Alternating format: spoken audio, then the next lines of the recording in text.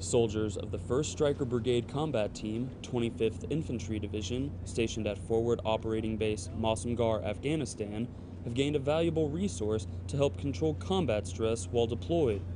Members of the 113th Combat Stress Control Detachment recently arrived at FOB Masum Ghar to support the 125th. The Combat Stress Unit is available to counsel soldiers who are suffering from combat stress.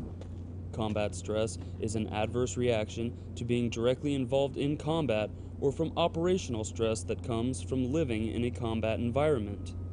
Operational stressors can be just prolonged exposure to an, um, this type of environment. It's very hot here. Could be the long work hours. The operation tempo can be very high. They don't get much sleep. So it's a combination. Some symptoms of combat stress include having trouble sleeping, being quick to anger, and isolating oneself from others. The Combat Stress Unit suggests soldiers can best win the fight against combat stress by helping one another.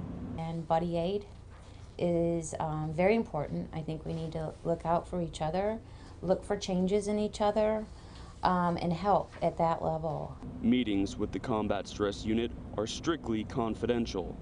Reporting from FOB Masum Ghar, Afghanistan, I'm Army PFC Andrew Geisler.